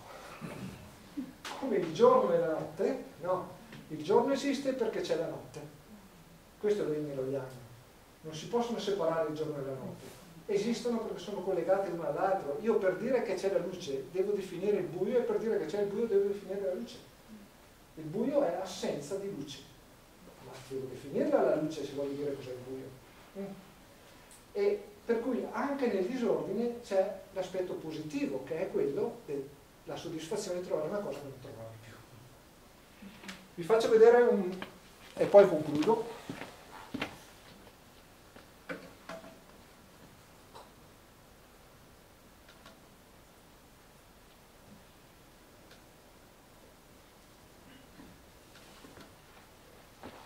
Questo è una storiella, vero? È una storia. Che secondo me, io la faccio vedere perché secondo me è divertente, ma eh, fa sì che le cose non siano viste sempre in maniera così rigida. Il titolo è Vivere come Dio vuole. C'era una coppia di vecchi, 85 anni ognuno, ed erano sposati da 60 anni. Non erano milionari, ma vivevano bene perché avevano economizzato. La loro casetta avevano. Malgrado la loro età erano in buona salute e ciò grazie a lei che insisteva sempre perché essi mangiassero sano. E inoltre facevano dell'esercizio, facevano moto. No? Purtroppo eh, un giorno, malgrado facessero tutta questa sana vita, eh, eh, hanno avuto un incidente, tornando da una vacanza è caduto l'aereo. E siccome sono stati bravi, erano bravi, sono saliti direttamente in cielo e sono andati in paradiso. E sono arrivati in paradiso e c'è San Pietro che li accoglie. E li ha portati in questa casa, una casa lussuosa con dei mobili bellissimi, una cucina attrezzata con apparecchiature moderne, una cameriera a loro disposizione e loro due erano stupefatti di questa cosa qua, no? San Pietro disse loro, è venuto in paradiso ora questa è casa vostra. Il vecchio domandò a San Pietro quanto tutto ciò sarebbe costato. Eh, pratico. Niente, rispose San Pietro. Voi avete vissuto come Dio comanda e questa è la vostra ricompensa. Il vecchio guarda dalla finestra e vede un campo di golf di prima classe come non aveva mai visto sulla terra, proprio delle robe quanto costa giocare in questo club? domandò a San Pietro. E lui gli dice, siamo in paradiso, è gratis. Tutti i giorni puoi giocare, è gratis, non ti preoccupare. Poi arrivano qua, vanno al ristorante e vedono di tutto c'è su questo tavolo. No? Per cui ci sono frutti di mare, carne, dessert, bevande di ogni tipo, proprio qualsiasi cosa. E San Pietro dice, non chiedetemelo, è tutto gratis, potete prendere quello che volete voi. Il vecchio guarda tutto ciò un po' nervoso, poi guarda sua moglie e infine chiede a San Pietro, dov'è il cibo dietetico? Senza grassi, senza colesterolo? E il caffè decaffeinato? Il meglio di tutto ciò che voi potete mangiare, tutto ciò che volete, senza ingrassare e senza preoccuparvi delle malattie, gli dice San Pietro. Voi siete in paradiso, per cui potete fare quello che volete. Voi mi dite che non è necessario fare del moto, dice il vecchio, no? Solo se lo si desidera, risponde San Pietro. Non sono obbligato a mangiare senza zucchero, senza sale? Posso bere della birra? Certo, le risponde San Pietro, qui si può mangiare e bere tutto ciò che ci fa piacere. Il vecchio guardò sua moglie e le disse, senza te e i tuoi cereali di merda avremmo potuto essere qui già da 10 anni.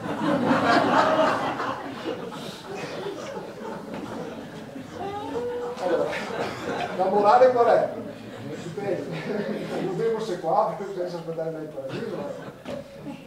Però godersi non vuol dire spaccarsi, godersi vuol dire prendersi di libertà. E questa qua è la prova che il paradiso si può trovare anche su questa terra senza aspettare che da quella parte. Eh, io di solito, eh, quando c'è qualcuno che mi ha già sentito meglio, io sono considerato una persona abbastanza rigida in quello che faccio, in quello che dico. E io questa cosa la faccio vedere apposta, perché insomma eh, il, mio modo, il, mio modo, di fare è un, fare, è un modo di fare deciso. Non so, io non mi considero rigido, lo sono stato sicuramente però negli ultimi vent'anni, 15 anni sicuramente non, non, sono più stato, vi dicevo prima sono vegano, ma sono vegano benissimo, cioè mangio carne, pesce, cioè, però dentro di me io sono vegano, io sono convintissimo che si possa vivere benissimo senza mangiare nessun prodotto animale, nessuno, neanche il miele, vero, che è un prodotto animale. Io non mangio formaggio, non mangio miele, non mangio nulla a casa mia poi se mi invitate a casa vostra, cosa sto io a dirvi? No, io voglio l'insalatina, il riso integrale e questo e quell'altro è stato. No, sto a casa mia a quel punto lì. Allora, piuttosto di stare a casa mia, vado dove vado e mangio quello che mangio. Eh, non per vantarmi, io quest'estate mi sono fatto 600 km a piedi camminare in Santiago in Compostela. Se avessi applicato il mio essere vegetariano là, sarei morto. Perché là, buono, cioè prosciutto, omelette, cioè, o mangi quello o non mangi. Sapete, io entro dentro e gli dico, io sarei vegano, e no, ma, cioè, il minimo che ti dicono perché là è quello, per cui o ti adatti o muori in quei casi lì. E io mi sono adattato, se no stavo a casa, vero? non andavo a fare il cammino di Compostela. Io preferisco vivere, però mi sento dentro molto vegano, tanto vegano perché lo sono da 30 anni. Per cui questo è il mio modo di vedere il mondo. Questo non vuol dire che bisogna applicare delle regole ferree e se vai fuori da quelle regole lì sei finito. Vi ricordo che la regola per essere tale ha bisogno dell'eccezione, altrimenti non è più regola, si chiama fanatismo. È diverso. Capite la differenza tra fanatismo e regole? Fanatismo è vuoi essere fuori da quella parte lì e soprattutto io ho sempre ragione e tu hai sempre torto. La regola è, io ho le mie regole, vediamo di confrontarci se vanno bene con le tue o non vanno bene con le tue. Questo è quello che, come la vedo io. Sempre in yang, applicando in yang. La regola è in forma di costrizione di yang, perché lo yang funziona ci vuole un po' di yin, ci vuole un po' l'eccezione, altrimenti diventa troppo lecito, troppo contrario. Eh, ho finito, nel senso che avrei da, potrei tornarmi ancora per tanto tempo perché ho vissuto per fortuna, insomma, ho tante, ho tante cose da raccontare, però mi rendo conto che eh, già ho messo molta carne sul fuoco, come si dice, no? eh, per cui eh, se siete interessati eh, potete anche contattarmi, ma eventualmente se vedere di fare altre iniziative, io non ho nessun problema a farle. Io tengo regolari corsi di cucina eh, energetica, tra virgolette, che sono legati soprattutto non alle ricettine, ma a cercare di capire come cucinare i cibi perché vadano meglio per ognuno di noi. Eh, a me non, non, mi piace dare le ricettine, le ricettine dico sempre a chi viene a chiedermi, voi trovate sui libri, vi consiglio due o tre libri, ci sono delle ottime ricette, per cui basta che le prendiate, le leggete e le fate. No? Il mio scopo è altro, è quello di creare consapevolezza, di creare cultura, che è diverso dal dare la disciplina. Bene, se avete domande io sono qua.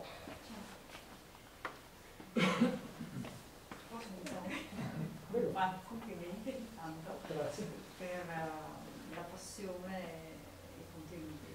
E, lei, lei, ha un blog, un sito qualcosa, vero? Rintracciabile? Sì.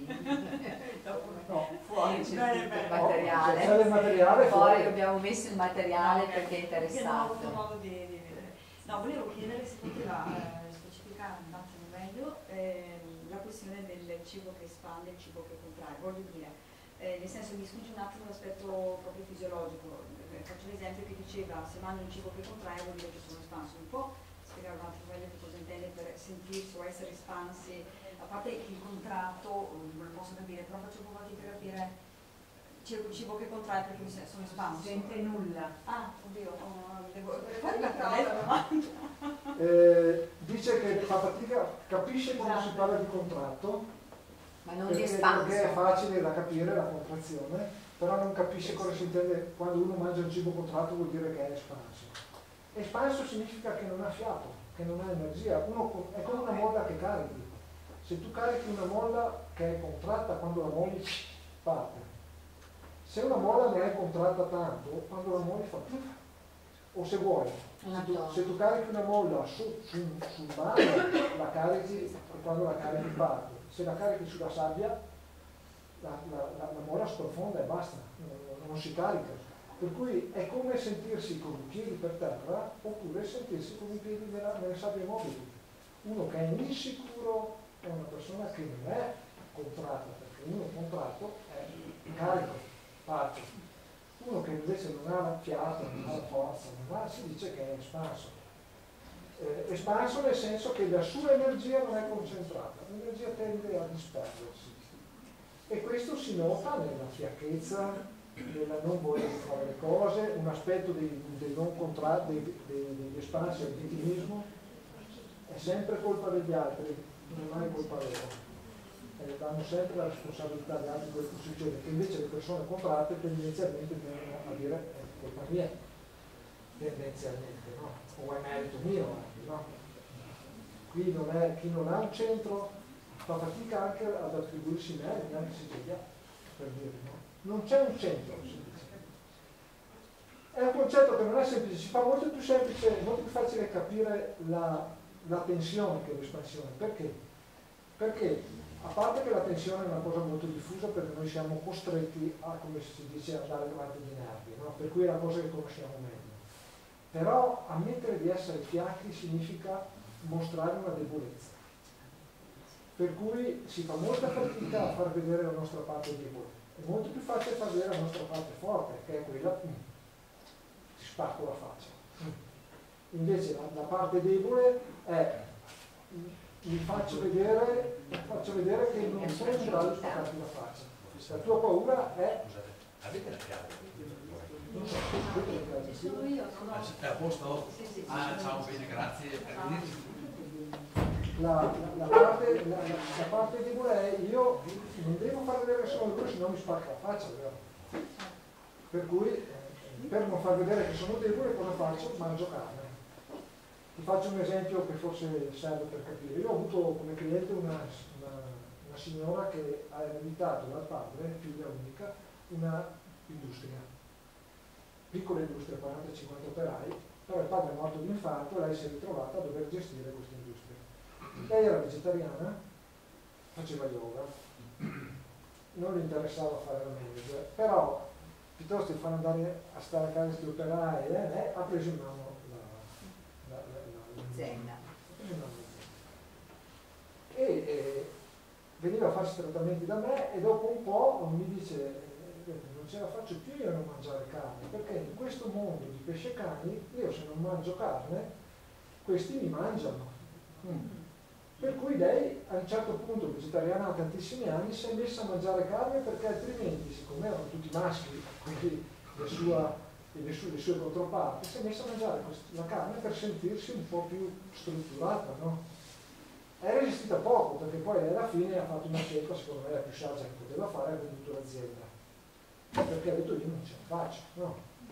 io ho dei principi miei per cui è riuscita a vendere l'azienda. Questo è stato un bel po' di anni fa, quando le aziende si ponevano ancora dentro, non c'erano grosse però lei a un certo punto non poteva resistere in quel mondo lì stressatissimo senza mangiare prodotti animali che creano una tensione. Per mangiare prodotti vegetali devi fare un altro tipo di vita, devi essere un po' più tranquillo e non avere questa concorrenza, anche se anche lì si potrebbe giocarci su, non è che tutti i vegetariani sono mogli e tutti i carnivori sono... Eh, come si chiamava Luis? Campione, campione olimpionico dei 100 metri? Carl Lewis? Cioè lui era vegetariano, per dire. Einstein era vegetariano, che ne so, ce n'erano tantissimi che, atleti che sono vegetariani, per cui insomma non è detto che bisogna solo sapere come si fa. Prego. Prego. Infatti cioè, le due definizioni tra espanso e contratto. Sembra quasi che sia uno positivo e uno negativo. No. Cioè, come li ha, messi lei, chi è espa- espanso sembra una figura più negativa. Ah. Però no, No, eh, posso capire quello che dici, sì. Eh, allora, eh, sono gli eccessi che sono negativi. no, perché dico, non è, non è, per forza non è una persona negativa se uno non, ehm, cioè, non, ha il carattere. Eh, assolutamente d'accordo. Eh, io per, fare, per far capire questa cosa devo usare gli estremi, perché sono molto più facili da capire.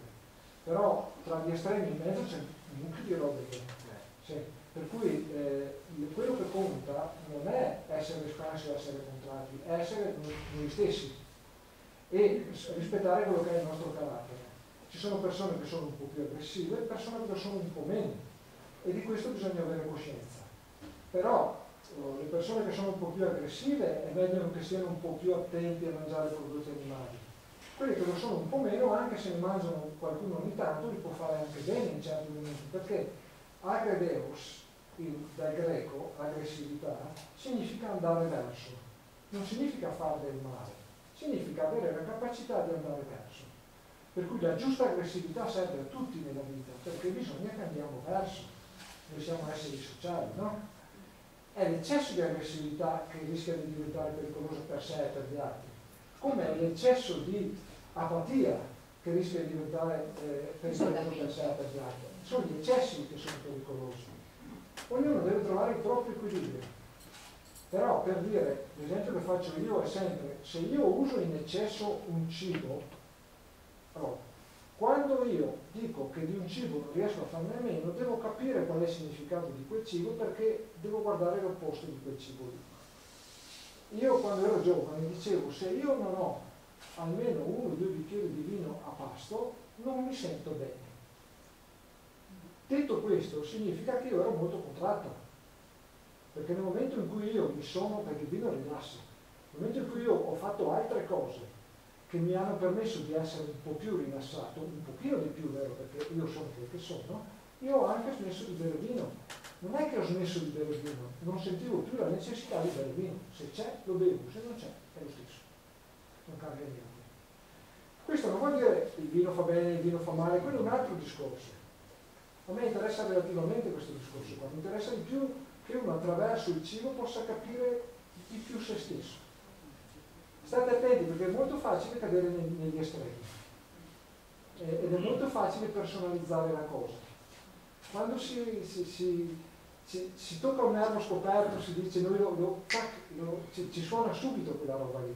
Per cui mh, dovete stare attenti, io non voglio personalizzare assolutamente nulla, voglio semplicemente, ripeto, devo fare degli esempi estremi perché la cosa venga capita, perché è più facile capire gli estremi che capire le, le- le cose immediate. Però di fatto la maggior parte delle persone sono in mezzo, vero? Non sono agli estremi.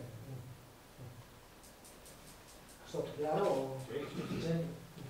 No, per esempio, chi fa la scelta, se è una scelta di fare di essere vegetariano, sembrerebbe che l'ha fatta perché è con l'altro. Non lo so. Oh, Allora, eh, io vi dicevo, ho gestito uno dei primi ristoranti vegetariani in Italia, per cui insomma c'è una storia dietro a questa roba qua. Però ultimamente il vegetariano è un po' avvelenato. Per quale motivo? Non- essere vegetariani va bene, non è un problema. È essere ideologicamente vegetariani che non va bene, perché l'ideologia è una cosa che è costretta, è dentro una scatola chiusa. Eh, secondo me essere vegetariani vuol dire fare delle scelte di vita che sono eh, funzionali alla salvaguardia dell'ambiente, di se stessi e del pianeta. Io lo faccio perché penso che sia la forma migliore per salvaguardare il pianeta. E anche me, di conseguenza, o viceversa se volete, lo stesso. Non per un dogma, non perché sono contrario all'uccisione degli animali, io sono contrario all'uccisione degli animali gratuita, sono contrario a allevamenti estensivi, intensivi per quello che mi riguarda, ma l'uomo ha sempre vissuto mangiando le, le- le razze che sono un po' più eh, biologicamente un po' più basse, vero? E perché non c'erano alternative. Eh, poi mi dicono gli animali hanno un'energia, gli animali so- sono- sono- hanno una sensibilità, gli animali hanno delle emozioni. Adesso io non, non voglio eh, toccare dei tasti che sono strani, però nel mio percorso ho fatto anche dei percorsi per parlare con le piante e vi posso garantire che le piante cantano, le piante hanno un'energia, le piante hanno un'emozione, le piante sono come gli animali, è che è un suono diverso, non si vede. Per cui stiamo attenti a non, a non dare schemi troppo rigidi, perché tutto quello che noi mangiamo ha un'energia e di conseguenza andiamo a, intaccare tutto energeticamente, andiamo a colpire sempre qualcosa, perché noi ci dobbiamo nutrire di qualcosa. Per cui io eh, sono assolutamente dell'idea che essere vegetariani, anzi essere vegani, sarebbe la scelta migliore per questa società e per questo mondo e per questo universo, perché sarebbe quello che consuma meno energia in assoluto e ci permette di risparmiare un nucleo di risorse. Su questo non ci piove. Da questo a chiudersi dentro una scatola a me non piace, semplicemente con tutto il rispetto ho per quelli che lo fanno, vero? Io non, non, io non ho mai sopportato per il mio tipo di carattere ideologia. Io non mi sono mai iscritto a un partito, l'ultima volta che ho avuto una tessera è stata quella della, dell'azione cattolica perché me l'aveva fatta mia madre, non perché ce l'avevo lì, la volevo io, insomma. Però poi questo non vuol dire che non ho delle simpatie o delle antipatie, però a me di chiudermi dentro una scatola non mi piace, voglio avere la mia libertà di scelta. Poi ci sono le cose che mi piacciono, le cose che. Quando si parla di spiritualità, eh, mia nipote mi ha detto una volta, zio, ma tu vai in chiesa? Eh, no, mi ha detto, ma tu credi in Dio? Certo che credo in Dio. E perché non vai in chiesa? E gli ho detto, quando ero piccolo mi hanno insegnato che Dio è dappertutto, per cui non lo trovo solo in chiesa, lo trovo ovunque. Eh, ma qui mi dicono che bisogna andare in chiesa per trovare Dio. E io dico, guarda, mi dispiace, io ho la mia strada e faccio, io Dio lo cerco da un'altra parte, non è necessario cercarlo lì.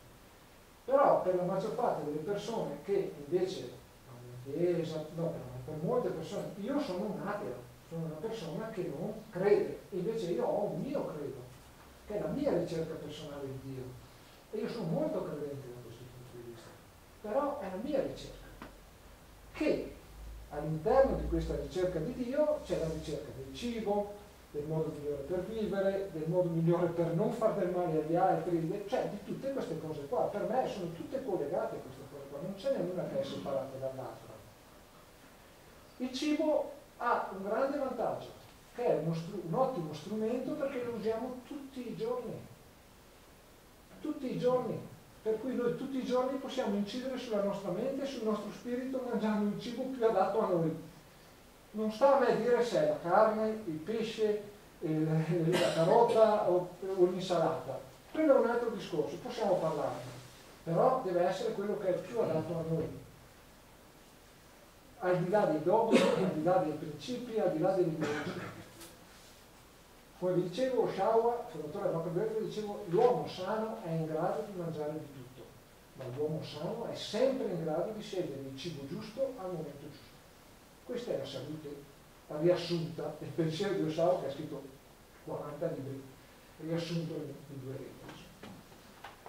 Sì, questo comporta comunque un'attenta osservazione di se stessi, cioè una, spegnere il pulsante, chiudere l'interruttore, fermarsi un attimo ed ascoltarsi, è una, è una capacità che abbiamo un po' perso questi ultimi decenni, perché se guardiamo quello che è successo in questi ultimi decenni, per appunto, che mangiamo prevalentemente cibi industrializzati, che è un po' più naturale non ha tanto di chimica dentro, sia per i trattamenti ma anche per gli additivi e tutto quello che ci va dentro. Se guardiamo i risultati che questo ha portato nella nostra società, eh, c'è, da prendere paura perché comunque questi cibi ci hanno fatto malare fondamentalmente di più perché la maggior parte delle persone muoiono per problemi cardiaci, problemi di tumore e poi per le medicine che devono prendere per, per curarsi, quindi la morte naturale è diventata un po' una rarità, insomma. Però dopo di questo non ci pensiamo mai, eh. cioè effettivamente non, è così che va, quindi bisogna andare così e, e, quindi viviamo un po' in un limbo, in un limbo in cui ci hanno calato e, e ci fa comodo così. Sono convinto anche io, come dici te, che chiudere un attimo l'interruttore, ascoltare se stessi, ritornare a mangiare anche un cibo e ascoltare anche il cibo che ci fa più bene, una volta liberati da questo, da questo vestito, ci porta a stare più bene, perché mangiare prevalentemente cereali e cibi biologici fondamentalmente ti porta ad una maggiore sicuramente attenzione e ti porta anche a, ad agire questi cibi vanno ad agire sul nostro corpo, vanno ad agire probabilmente anche sulla mente e sullo spirito, quindi ti portano anche ad una dimensione, ad una, ad una attenzione, consapevolezza diversa rispetto a quella che, cui viviamo adesso. Insomma. Però questa è veramente una grande malattia della nostra società, che non pensiamo più, che non ci ascoltiamo più, o molto poco perlomeno. Distingue fra pensare e ascoltarsi, eh, sono due cose. Sì, ascoltarsi Però, Allora, ascoltarsi proprio con staccando un Eh, interruttore. io eh, quando che ho cominciato a studiare macrobiotica, una delle cose che ci facevano fare era eh, una palla di riso integrale e devi masticare 50 volte eh, a boccone. E io quei tempi là dicevo, questi sono fuori di testa. Io non ce la faccio mai a masticare 50 volte a boccone. Eh, però a livello di sperimentazione lo fai. E tu scopri che con una palla di riso così, quando l'hai finito, a parte una massa così. non sono tanto per messe, però sei sazio. Sei sazio. Eh, il, il il problema del masticare, il problema della preghiera prima dei pasti, che ci facevano dire una volta, che poi io quando ero piccolo la ripetevo in maniera meccanica, non, non mi hanno dato gli strumenti per ripeterla in maniera intima, era, una roba meccanica, è un momento di dire ok, adesso mi fermo, faccio una cosa sacra perché il cibo che mangio è eh, importante per il mio organismo, abbiamo visto che effetti che fa il cibo sull'organismo, almeno da quel punto di vista lì, per cui cerco di farlo nella miglior maniera possibile. Per cui mi fermo un attimo, faccio due minuti di meditazione, preghiera, meditazione, quello che vuoi tu, e poi cerco di masticare. Secondo me fare questo è già un grande passo avanti ed è dal mio punto di vista più importante per la persona di- del cibo che sta mangiando. Poi c'è anche l'altro aspetto che è il cibo che sta mangiando, cosa, che effetti che fa quel- quella bistecca lì che, che stai mangiando, per cosa, cosa, che dazio si paga per produrre quella bistecca lì. Lo dicevo 12 volte più terreno agricolo serve, non mi ricordo più quante centinaia e centinaia di volte più acqua serve per avere lo stesso numero di proteine. Per cui è un prezzo alto che paghiamo per mangiare a casa. Però se noi cominciamo a masticare e a stare lì in quello che facciamo, è già un grande passo avanti. Ed è per quello che io dico di più alla gente, non mangiare mai niente in piedi. Stai mangiando un pacchetto di cracker, ti fermi, ti siedi e mangi i crackers. No finché stai facendo altre 10.000 robe. E il Krishnamurti, che era un grande maestro di yoga, cinque lauree, eh, diceva lo yoga, eh, quello da fare è lo yoga quotidiano, cioè la consapevolezza di ogni atto che facciamo durante la giornata. Cioè io sono seduto sul water, sono seduto sul water. Sto facendo da mangiare, sto facendo da mangiare guardo la televisione, guardo la televisione. E no, sono seduto sul water, penso a quello che devo fare dopo, nel contempo leggo il giornale, oppure faccio da mangiare e contemporaneamente dico ma dopo cosa devo fare? E aspetta un attimo che già che sto facendo che mi manca, muoli tutto, ti si brucia la roba perché ti eri dimenticato di fare quell'altra roba e avanti così, no? Quello è disperdere l'energia. Lui diceva bisogna starci nelle cose che fai. Questo è molto difficile.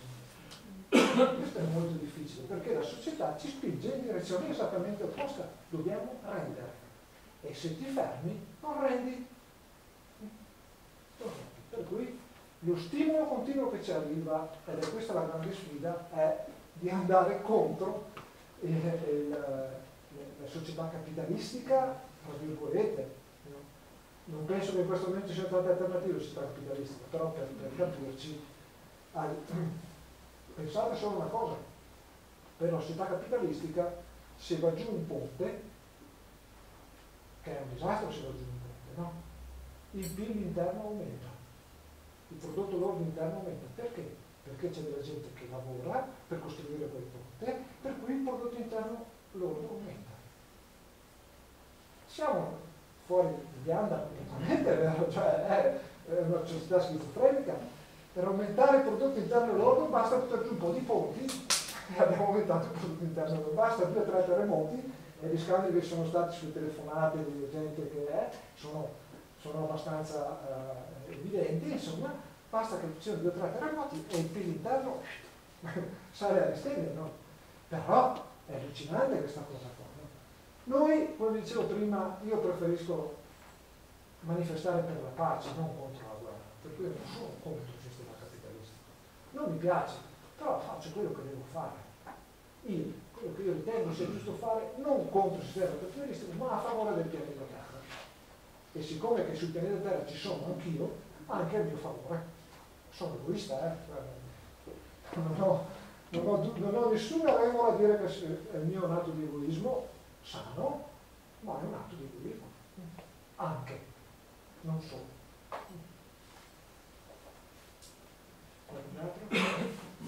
Grazie Claudio della... Avete altre domande? Ce l'abbiamo fatto. Dieci. Dieci e mezza. Dieci e mezza.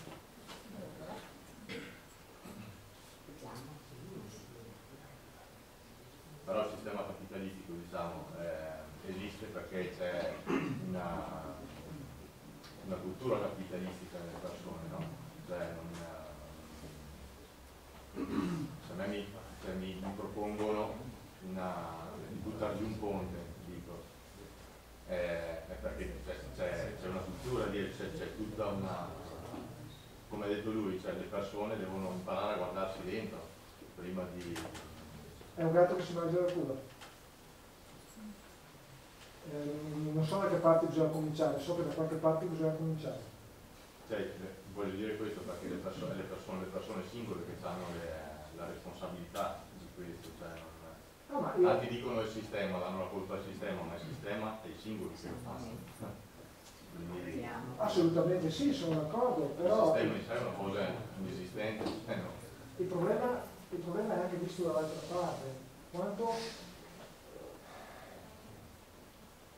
quanto noi siamo disposti a, a pagare, a cedere, a mettere a disposizione perché questo avvenga, perché bisogna fare un sacrificio perché questo avvenga. E, e, è vero che il singolo, io dico sempre, se, se, se c'è un litro di acqua, basta che ci metti dentro una goccia di, di colore rosso, quest'acqua è inquinata, vero? Per cui sarebbe buono tenerla pulita tutta perché resti quello che è. Però oh, dall'altra parte eh, questa storia che noi dobbiamo partire da noi per molta gente è veramente un grosso oh, sacrificio, una grossa difficoltà.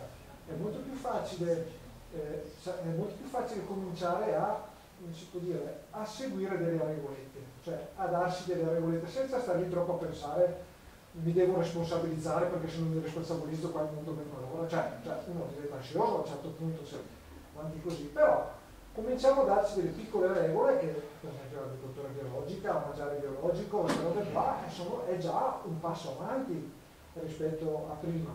Eh, per dirvi una cosa, eh, eh, adesso l'OMS eh, ha, ha, detto che la carne lavorata è cancerogena. No?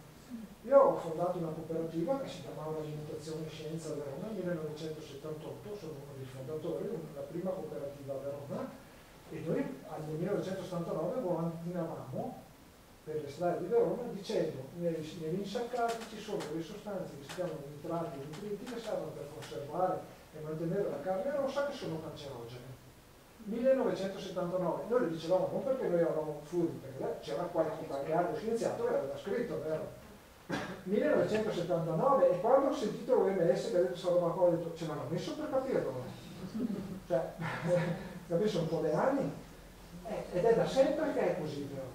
I nostri nonni usavano il sale, poi siccome che il sale, la carne non restava rossa, hanno cominciato a usare il sal nitro, cioè nitrati si trasformano in nitriti perché per essere nitrati, per essere trasformati e eliminati dal nostro organismo devono essere rielaborati in nitriti e i nitriti sono cancerogeni. Ma questo è da sempre, cioè dagli ultimi vent'anni almeno. E adesso all'improvviso la mia domanda è come mai? Perché adesso sì, e l'anno scorso, due anni fa, o quanto si sapeva benissimo anche dieci anni fa questa storia. Qual è la sua riflessione a proposito? Possiamo sapere? Un mio amico mi ha detto, siccome che ci sono quelli che vengono le carni bianche che sono in crisi, hanno pagato qualcuno perché le carni rosse vengano messe in crisi così vengono più carni bianche. Mm. Non so se questa è la risposta, però può darsi, non lo so. C'è qualcosa dietro che noi non sappiamo di sicuro. L'unica cosa è che eh, bisogna che noi ci creiamo una nostra coscienza. Io mi sono informato e da quando ho scoperto questa roba qua, il mio uso di insaccati è, è, si è ridotto all'inizio a insaccati fatti da persone che sapevo cosa facevano e cosa ci mettevano dentro, e poi a eliminarli, a meno che, mi capita in qualche festa, assaggia sto tocco di salame, sì ok, lo assaggio, non è un problema, ma non sarà mica che le tre fette di salame che mangio all'anno che mi provano problemi, vero? O che mettono in discussione il mio essere vegano. Non, mi sento assolutamente metto in discussione le tre fette di salame, per carità, ci vorrebbe altro. Per cui è vero che ci sono dei passaggi da fare sulla coscienza, però bisogna stare un attimo attenti a non puntare troppo su questo aspetto perché è un aspetto che può mettere ansia. Eh cioè fermarsi a meditare non è una cosa facile facile, no? è la cosa più semplice del mondo. Eh, meditare vuol dire, per esempio, quello che si faceva una volta, una volta si faceva l'esame di coscienza. Facciamo ancora l'esame, proviamo a farci l'esame di coscienza senza pensare al peccato, vero? Io dico sempre ai miei clienti, fai, prendi una pagina, fai una riga e mezzo e scrivi ogni sera quello che ti è piaciuto di quello che hai fatto durante la giornata, prima quello che ti è piaciuto, e poi quello che non ti è piaciuto. E poi lo rileggi, così sai che hai fatto quello che ti è piaciuto e quello che non ti è piaciuto. E il giorno dopo lo rifai un'altra volta, ci metti due minuti, vero? Non è che ci vuole anni per fare questa roba qua. E ogni giorno sei stato attento a quello che hai fatto, a quello che non hai fatto. A forza di essere attento, prima o poi qualcosa si sveglierà, vero? Eh, se mi sono svegliato io, non perché sia più sveglio di voi, insomma, se mi sono messo su questa strada, possono farlo tutti, perché io ero uno scettico per definizione e sono capricorno, perché i capricorni prima che si muovono ce ne vuole, per cui se ce l'ho fatta io, per farci la chimera, è che il mio vantaggio di essere capricorno è che non mollano mai. Capricorno, dico, non mollano mai, per cui io ho continuato, nonostante certamente non fosse facile, ho continuato. E, io posso solo invitarvi a riflettere, non posso fare altro perché eh, non sta a me decidere se è giusto che mangiate carne o che non mangiate carne, a meno che non veniate da me e mi chiedete un parere, allora io do. È il mio lavoro, mi pagate e io do un parere. Eh, però oh, mh, non, non, io non sono per esempio contrario, no, no, non ce l'ho con quelli che fumano, anche se io non fumo più da 15 anni oramai. Però per dire, quando vedo uno a fumare una sigaretta, io so che soddisfazione ha a fumarsi una sigaretta, per cui ha tutta la mia solidarietà e la mia comprensione, però deve anche sapere che si sta avvelenando. Cioè, ci sono le due cose, dico non mi sento di dire guarda che mi stai uccidendo, guarda, no, lo sa benissimo, per cui Basta che non te ne fumi in faccia, fa quel che ti vuole, cioè, no, non è un problema per me. E questo vale per qualsiasi cosa. Guardate che il giudizio su di noi e sugli altri è la cosa peggiore che possiamo fare. Giudicare vuol dire io ho ragione e tu hai torto. Questo è il giudizio. Osservare è un altro discorso, però sono due cose diverse. Bene, bravo Beppe.